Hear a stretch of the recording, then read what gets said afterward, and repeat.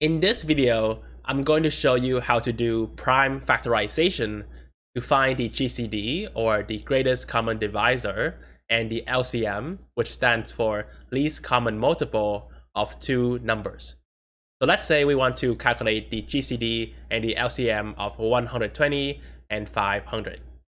The first step is to do prime factorization.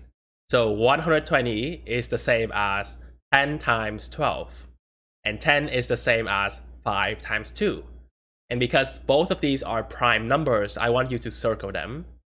As for 12, 12 is 3 times 4, and 4 is 2 times 2. This means that 120 is equal to 2 to the power of 3, because we have 2 times 2 times 2, so 2 to the power of 3 times a 3, because we have the 3 here, and then times 5. So I want you to write it like this, and let's go ahead and do prime factorization for 500. 500 is equal to 5 times 100, and 100 is equal to 10 times 10, and 10 is 5 times 2, same thing for over here. 500 is equal to 2 to the power of 2 times 5 to the power of 3. So what is the next step? Well, the next step is I want you to find the numbers that don't have an exponent. So let's look at this. Which one does not have an exponent? It's 3 and 5, right? So make it 3 to the power of 1 and 5 to the power of 1. And you'll see why we do this. As for here, all of these have exponents, so we don't need to worry about them. And we're almost done. If you look at these numbers, we have 2, 3, and 5, right? But if you look at these numbers, we only have 2 and 5. We don't have a 3. So that's why multiply this with 3 to the power of 0. This doesn't change anything because that's the same as multiplying by 1. 3 to the power of 0 is 1.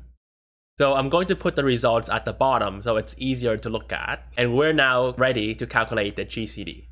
So the GCD is equal to 2 to the power of min of 3 and 2. So where did this come from? So we have the exponent 3 and 2. And just put it inside a function called min. And I'll show you how to calculate this. It's very easy. Now the same thing over here, we have a 3. And then we have the exponents 1 and 0. So put it inside the function min of 1 and 0. And then 5 with min 1 and 3. Now, let's take a look at min 3 and 2.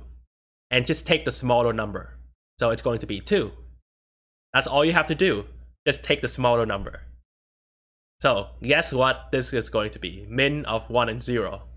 That's right, it's going to be 0. And min 1 and 3 would just be 1. And so 2 to the power of 2 gives you 4. 3 to the power of 0 is 1. And then 5, then you have 20. So this is the GCD of 120 and 500. The GCD is very useful when it comes to simplifying fractions. So let's say we have 120 over 500. We find the GCD, which is 20. So we divide the numerator by 20, the denominator by 20, and you have 6 over 25. And this is the simplified fraction. Calculating the LCM is actually very similar.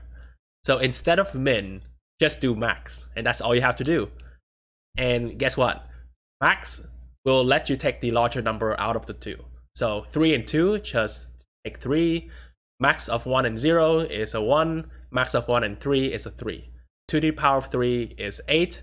And then times 3 times 125 is 3000. The LCM is very useful when it comes to determining what is the common denominator. Let's say you're adding these two fractions. So the common denominator it's going to be 3000. That's the least common denominator. What can we do? Well, we take 1 over 120 times 25. So this will give you 3000. And 500 times 6 will also give you 3000. So you end up with this. And 25 plus 6 is going to be 31 over 3000.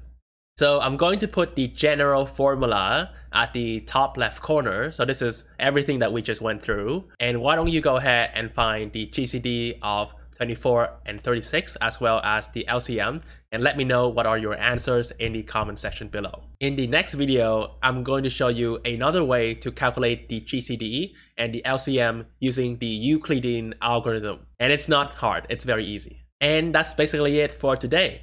I hope you enjoyed this video and I hope everything made sense. Don't forget to like, subscribe, and share with your classmates. And I'll see you in the next video.